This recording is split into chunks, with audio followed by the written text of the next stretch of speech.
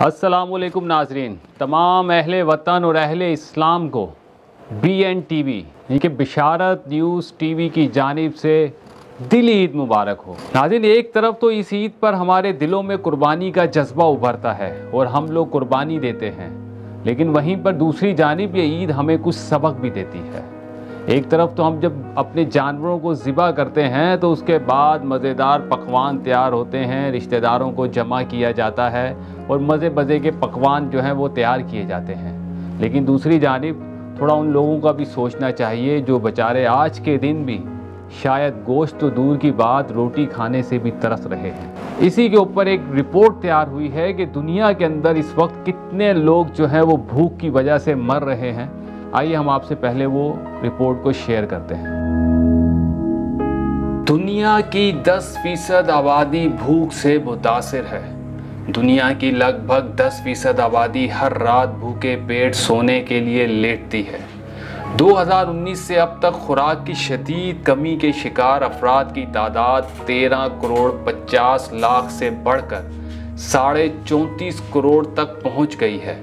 जबकि 80 ममालिक के 50 करोड़ शहरी कहत साली के दहाने पर खड़े हैं। ये बात अकवा मुतहदा के वर्ल्ड फ़ूड प्रोग्राम की जानब से जारी रिपोर्ट में बताई गई। रिपोर्ट में बताया गया कि कोरोना वायरस की वबा के बाद से दुनिया में खुराक की किल्लत के शिकार अफराद की तादाद में 15 करोड़ का इजाफा हुआ है, जबकि यूक्रेन जंग के बायस मुतासर ममालिक में कहत साली का खतरा बढ़ गया है। रिपोर्ट के मुताबिक गुज्त साल आलमी सतह पर खुराक की शदीद किल्लत के शिकार अफराद की तादाद बयासी करोड़ अस्सी लाख तक पहुँच गई। और 2020 के मुकाबले में चार करोड़ साठ लाख अफराद का इजाफा हुआ है। रिपोर्ट में मजीद बताया गया कि रूस पर यूक्रेन के हमले के बाद ईंधन, खुराक और खाद की कीमतों में इजाफा हुआ है, जिसके बायस भूख से मुतासर अफराद में अगले साल तक मजीद इजाफे का खदशा है। वर्ल्ड फ़ूड प्रोग्राम के एग्जेक्टिव डायरेक्टर डेविड बेस्ले ने बताया कि इस बात का खतरा है कि इस तादाद में आने वाले महीनों में नुमाया इजाफा हो सकता है। उन्होंने कहा कि ईंधन, खुराक और खाद की कीमतों में आलमी सतह पर इजाफा हुआ है, जो यूक्रेन बहरान का नतीजा है। उन्होंने ख़बरदार किया कि इस सूरत हाल से आलमी सतह पर अदम इसकाम कहत साली और बड़े पैमाने पर नकल मकानी जैसे हालात का सामना हो सकता है। तबाही से बचने के लिए हमें आज ही इकदाम करने की ज़रूरत है।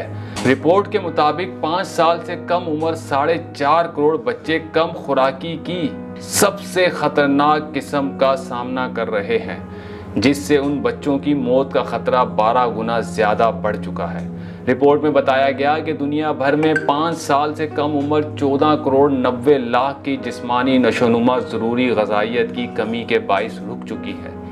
अकवा मुतहदा ने 2030 तक दुनिया से भूख के खात्मे का हदफ तय किया हुआ है। मगर मौजूदा हालात के बायस खदशा है कि इस वक्त दुनिया में खुराक की कमी के शिकार अफराद की तादाद सड़सठ करोड़ के करीब हो सकती है।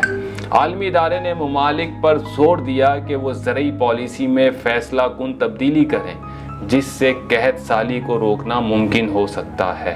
तो नाजिन आपने इस रिपोर्ट में देखा कि इस वक्त दुनिया के अंदर जो हालत है, वो क्या है? नाजिन चूँकि हम लोग मुसलमान हैं और हमारे नबी सिर्फ़ मुसलमानों के लिए नहीं आए थे, हमारे नबी पूरी दुनिया के लिए आए। इवन के जो क़्यामत तक जिस इंसान ने आना है, हमारे नबी वो सबके नबी हैं। तो नाजिन हमें भी जो सोचना है, पूरी दुनिया का सोचना है। हमें ये नहीं सोचना कि फ़लाँ मुसलमान है, फ़लाँ मुसलमान नहीं है। हमारे नबी ने जो हमें तालीमत दी, उसके अंदर हमें ये बताया गया कि उन तक वो तमाम पैगाम को हम पहुँचाएँ, जो खुतब हजतुलविदा में आप सलाम ने साहब कराम से किया था। और उस पर उन्होंने उनसे पूछा था कि क्या मैंने तुम तक दीन पहुँचा दिया? तो साहबा कराम ने कहा था कि आपने दीन पहुँचाया नहीं, बल्कि पहुँचाने का हक़ अदा कर दिया।